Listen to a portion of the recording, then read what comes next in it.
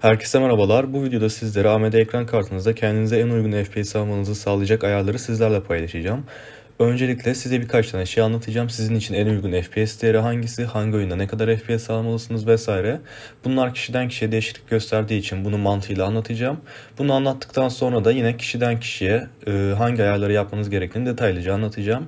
Bir tık uzun bir video olabilir ama bu ayarları yaptıktan sonra ekran kartınızı en verimli şekilde kullanacaksınız ve sizin için en iyi olan FPS değerlerini alacaksınız. Videoya başlamadan önce AMD'nin driverlarını kurmanız lazım. Driver kurma videosunu bu videoda değil bir başka videoda anlattım. Onu açık açıklamada bulabilirsiniz. Driver'ı yükledikten sonra aşamalara başlayabilirsiniz. Dilerseniz birinci aşamayla başlayalım. İlk adımımız driverlarımızı güncellemek olacak. Ee, driverlarımızı hangi versiyona güncellememiz lazım? Uygulamayı açtıktan sonra ayarlar kısmından sistem kısmına geliyoruz ve burada güncelleştirmeleri kontrol et dediğimizde güncelleme mevcut diyebilir ama her güncellemeyi kurmamamız lazım. Buradan tercih edilen yazılım sürümünü sadece önerilen yapıp ardından güncelleştirmeleri kontrol et diyoruz ve yeni bir güncelleme varsa bunu indir diyoruz.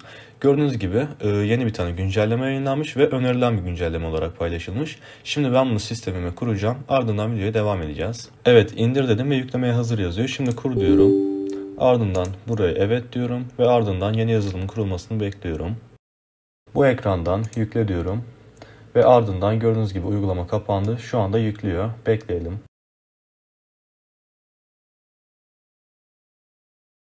Evet şu anda güncelleme devam ediyor ve güncelleme sırasında ekranın birçok kez gidip geldi. Hatta çözünürlük de değişti. Ee, bu bir sorun değil. Ee, tamamen yüklendikten sonra bunlar geçecektir. Yüklenirken ekranın gidip gelmesi normal merak etmeyin. Evet uygulama yüklendi ve gördüğünüz gibi yeniden başlat yazıyor. Hemen bilgisayarımı yeniden başlatıp geliyorum. Evet şimdi en güncel yazılımı kurdum ve bilgisayarı iki kez yeniden başlatmam gerekti. Peki şimdi ne yapacağız? Fabrika ayarlarını sizlerle beraber sıfırlıyorum. Böylece bütün ayarları sizinle baştan yapacağım. Evet uygulama baştan açıldı. Bunu atla diyorum ve kendi özel ayarlarımızı yapmaya başlayalım. Öncelikle masa üstüne geliyoruz. Buraya gelip sağ tıklayıp görüntü ayarları diyoruz. Buraya geldikten sonra gelişmiş ekran ayarları kısmından bir yenileme hızı seçin kısmında haz değerinizi öğrenmeniz lazım. Eğer bu düşük değilse bunu en yükseğe almanızı öneririm. Peki haz nedir? Haz bir monitörün saniyede oynatabileceği kare sayısıdır. Videolar bildiğiniz gibi bir sürü fotoğrafın birleşmesiyle akıcı hal alır ve bize video gibi gözükür. Buradaki 144 Hz'in anlamı da saniyede 144 tane fotoğrafı birleştirerek monitörün bana video oluşturuyor. Standart monitörler bunu 60 Hz'de yapar. Yani saniyede 60 tane fotoğrafı birleştirip bir görüntü sunar. Buradan en yükseğe seçip en akıcı görüntüye ulaşmayı sağlıyoruz. Ee, ekran kartımızda 144 FPS'ten fazla alırsak monitörümüz bunu çizemeyecektir. Yani bu FPS'ler boşa gidecektir. Tabii ki bir zararı yok. Sadece ekran kartı biraz daha fazla güç tüketir ve fazla ısınır. Ancak e, önemli bir zararı yok. Hatta hiçbir zararı yok diyebiliriz. Ama şunu farkında olun. Eğer siz 240 FPS alıyorsanız ama ekranınız 144 Hz ise siz sadece oradan 144 FPS'i görürsünüz. Kalanı boşa gider. Ee, peki az alıyorsak ne olacak? Bunu da zaten şimdi ayarlarken sizlere anlatacağım. Hemen uygulamamızı açalım. Evet şimdi uygulamaya girdik. Buradan ayarlar kısmına geliyorum. Ve zaten güncellemeyi yapmıştık. Şimdi ekran kartları kısmına geliyorum. Ee, hatırlarsanız ekran 144 Hz'dı. Yani bizim amacımız şu anda 144 FPS'e ulaşmak. Tabii ki her oyunda 144 FPS'e ulaşmamız mümkün değil o oyunlar içinde gerekli ayarları yapacağız.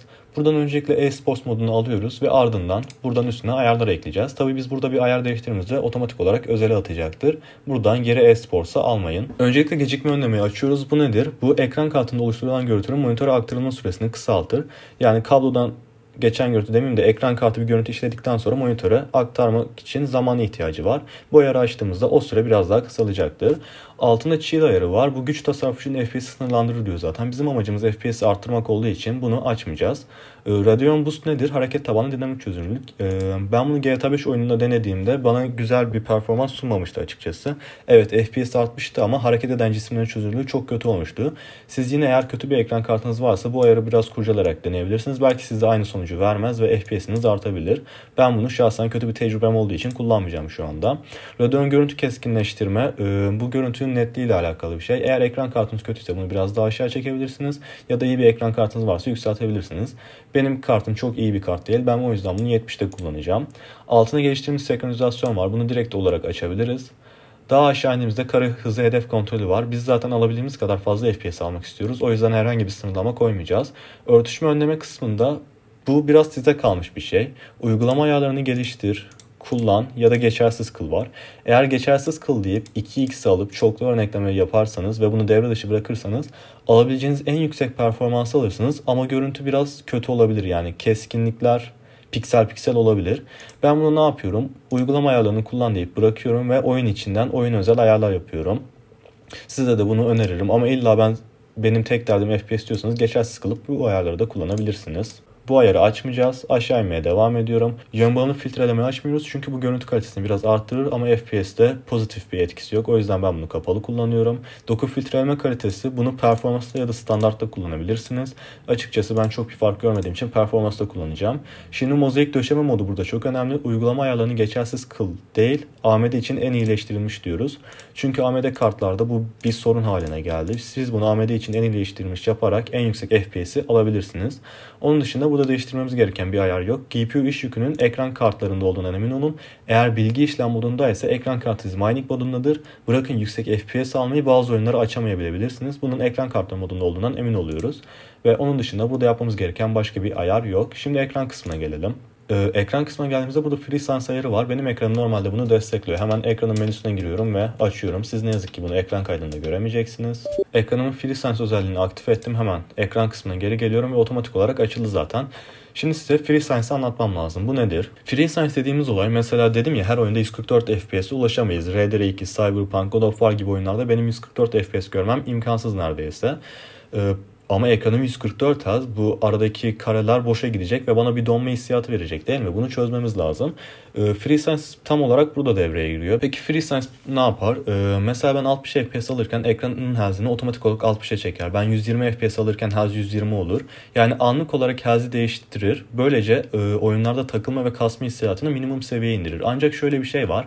Mesela ben 20 FPS alıyorum. FreeSense Premium açtım. Neden akıcı olmadı? Niye yanlış video çekiyorsun diye yorumlar almıştım bir önceki videomda.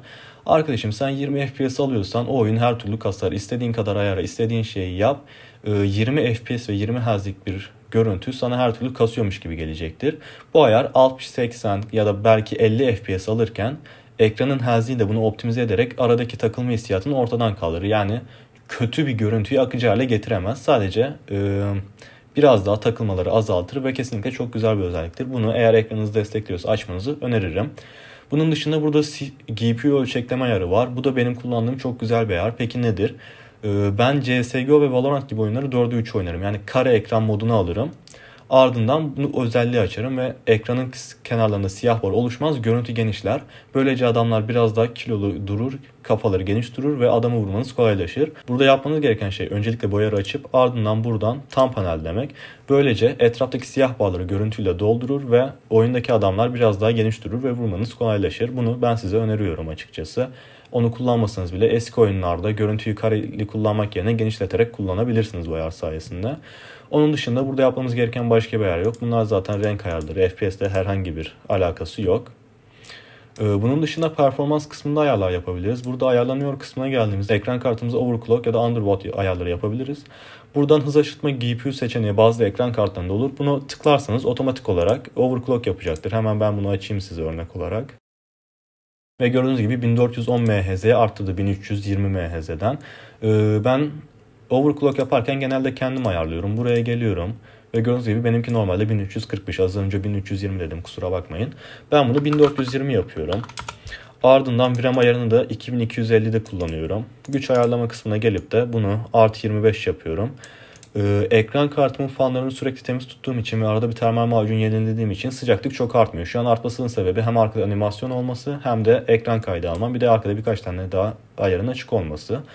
Ee, ben ekran kartıma böyle kendi bildiğim ayarları yaparak daha yüksek FPS'lere ulaşabiliyorum. Lakin siz bu ayarı bilmiyorsanız bunu direkt böyle en yukarı çekerseniz, bunu aşağı çekerseniz, gerekli gücü veremezseniz, fan ayarlarını yapmazsanız ekran kartına kısa ya da uzun vadede zararlar verebilirsiniz. Bunda biraz tecrübe veya araştırma yaparak kendinize uygun ayarları bulabilirsiniz. Ben şimdi bunu varsayılanda kullanacağım. İstediğim zaman buradan overclock yapabilirim. Eğer anlıyorsanız siz de yapabilirsiniz.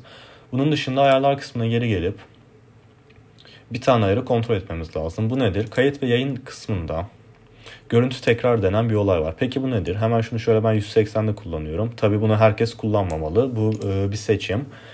Bu Size şöyle anlatayım. Mesela ben Valorant oynadım ve oran çok iyi geçti. Ace attım falan. Diyorum ki keşke şunun bir kaydı olsaydı da birilerine gösterseydim.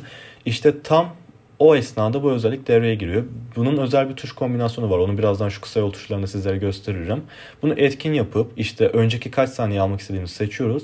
Ve mesela ben 180'i seçtim. Önceki 180 saniyeyi bir video olarak bize kaydedebiliyor. Bu güzel bir özellik.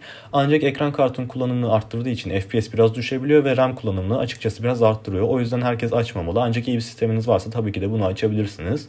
Ee, peki görüntü tekrarını almak için hangi tuşlara basmam lazım? Bunu kendiniz seçebiliyorsunuz. Şu kısa yol tuşlarına gelip görüntü tekrarını kaydetti. Mesela CTRL Shift S'miş bunun normali. Siz buradan kendinize özel bir kombinasyon yapabilirsiniz ama ben bunu alıştığım için ellemeyeceğim.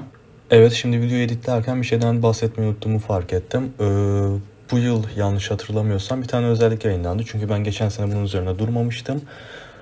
Pardon 2023'te de 2022'de yayınlandı ama bir önceki videoda üstüne durmamıştım. Bu özellik sayesinde yani PCR sayesinde dinamik tabanlı çözünürlük yaratarak oyunlarda da görüntü kalitesi kaybetmeden çok daha fazla FPS alabiliyoruz.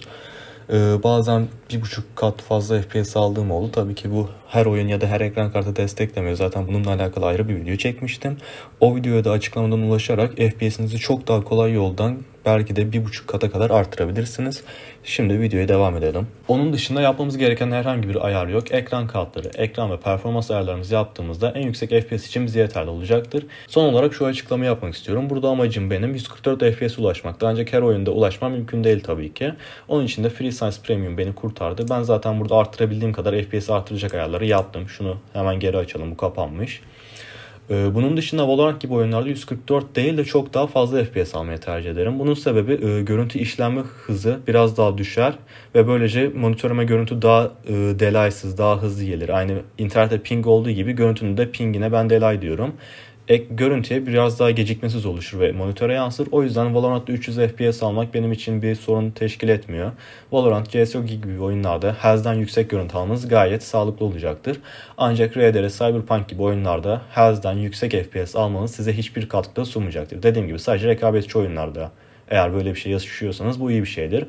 Onun dışında ben e, Cyberpunk'ta 240 FPS alayım falan gibi bir derdiniz olmasın.